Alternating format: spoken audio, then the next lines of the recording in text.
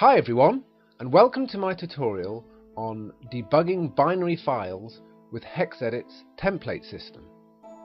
This tutorial is primarily meant for programmers who have files that they think may contain errors and wish to investigate them further. In this example, I've created a small C program that creates a file that may be buggy. In other cases, you may have received a file from an external source and you want to check it. So let's have a quick look at the program. It's a very simple program that sets up some map data and then saves that data out to disk. The map data is stored in three simple structures. The map struct holds the number of roads and a collection of roads.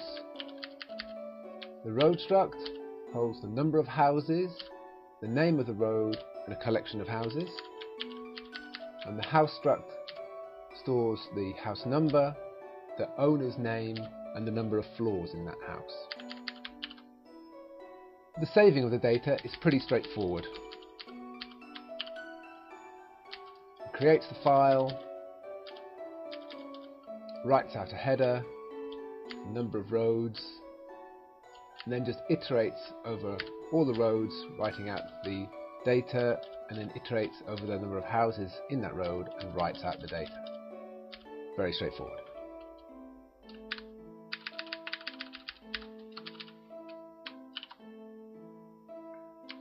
The file that this creates should have the following structure. The file starts off with a header of 7 bytes, which is the string header, followed by a null terminator. Then an unsigned integer of the number of roads. Then we have a collection of roads. Each road having the number of houses as an unsigned integer. The road name as a null terminated 16 character. Then, after that, we have a collection of houses uh, the house number as an unsigned int, the owner name as 16 characters, the number of floors as another unsigned int. Obviously this will repeat to the number of houses we have and this data will repeat again and again for each road. So we've run the program and one way or another we found out that the file it's created is faulty. We've gone through the code several times and we can't find anything wrong. So let's now see how HexEdit, a freeware piece of software, can help us determine the error. To start out, this looks like any other hex editor, and we could already start to use this to debug our file. But if anyone's tried this, you already know that this is not a very easy process, and it's easy to get lost in the file. This is where HexEdit's templates come in. The basic idea is to define the structure of your file so that you can see the individual components separately. So let's create a new template. Now we can see the template view on the left. It's open in what's called designer mode. It has a tree structure showing the metadata for our file. Let's right click on the default node and start creating our metadata by selecting edit. This is the top level node for our file so I'll just rename it test file. Then we need to define what elements this test node has underneath it. So let's check our format document. The first thing in our file is a header of 7 bytes so let's add that to our metadata. I'll delete this dummy node, then we'll insert a new data element. We'll call it header, set its type to string, and set its length, we know, to 7 characters. Let's try this out already by pressing OK. Now this error message is in fact very useful. it's telling us that our file is longer than our metadata predicts, which is of course what we expect because we've just put the header in so far. Now if we go over to our template view and expand our test file node, we can see our header entry and under data it says header, the correct value. So let's add the rest of our template. We'll edit the test file again. Checking our doc, the next entry is the number of rows and it's an unsigned integer. So let's insert a new data entry. We'll call it number of roads. It is of type integer. The format is, is unsigned and the length is 4. Okay. If we go back and have a look at our doc now, we see next we have a collection of rows. For that, we can insert a for loop. We'll call it roads. Now this is a nice bit. For the count, we can actually refer to our previous elements. So we can select number of rows for the count. Loops must have elements defined that exist inside that loop. So we'll do that by adding a structure for our roads. I'll call it road. Checking back to our document, the first thing inside a road is the number of houses and it is a unsigned integer. So we'll add that as a data member. Number of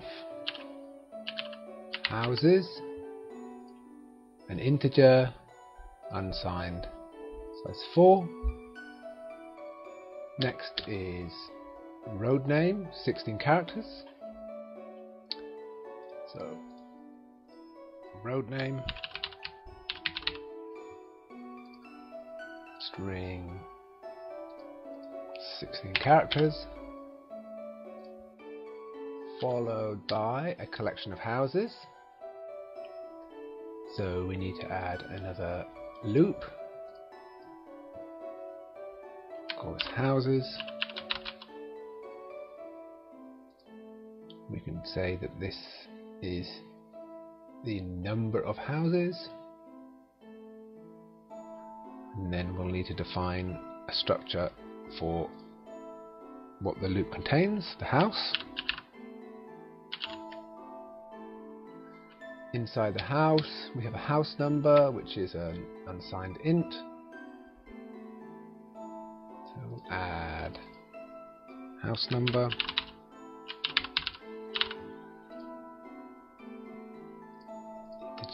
unsigned. Four. Followed by the house owner, a string of 16 characters. Insert data, house owner, string of 16 characters. And finally, the number of floors as another unsigned integer.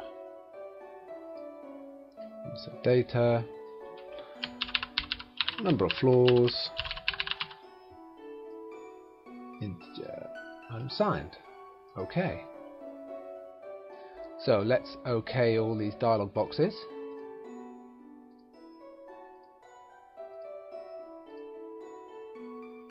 Now this is an interesting error. As we've defined our metadata now, it should be telling us the length of the file but the actual file length on disk does not match what's defined in our metadata. So this is telling us that there is something wrong. Let's press OK.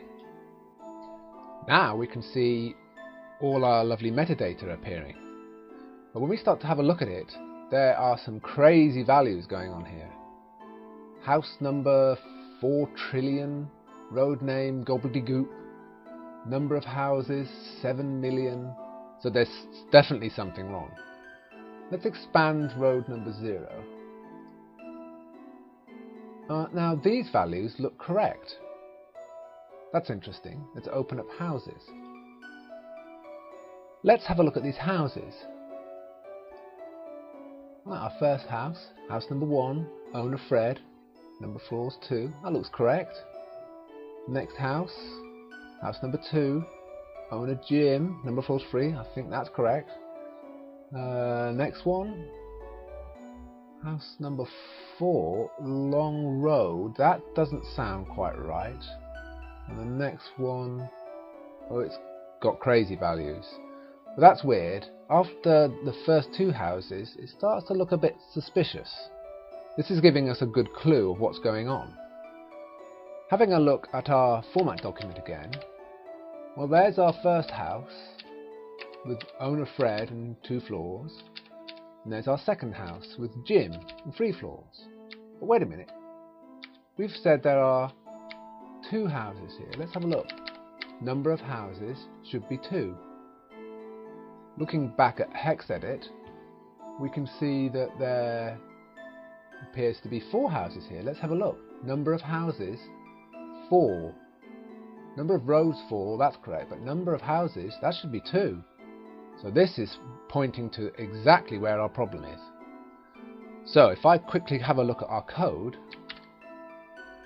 in the save map function, let's have a look. We open a file, we write the header, number of roads, that should be correct, gets a number, number of roads, write it out, that looks good.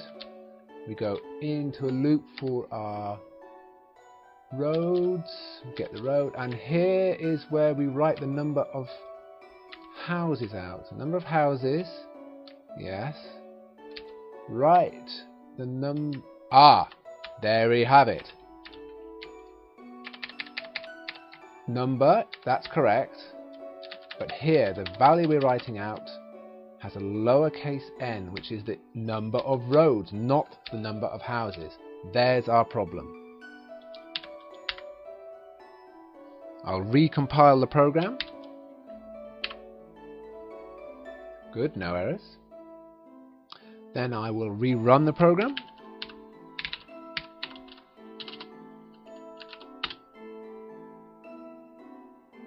and let's go back to HexEdit to see what we've got. I'll reopen the file. And notice there was no error message about the file being too long. That's a good sign. You can open up our test file. There's the header number rows 4 that's correct. There are four roads. Let's open one of them up. Number of houses 2 correct. There's Bridge Street. Let's have a look at the houses it's got. It's got two houses. There they are. Let's have a look at the next road just in case. Row 2, long road. Excellent. We fixed it. Now, obviously, this was a very contrived, simple example, but hopefully you can see how useful this templating system can be for debugging your binary files. Hope you found that helpful. Thanks very much. Bye!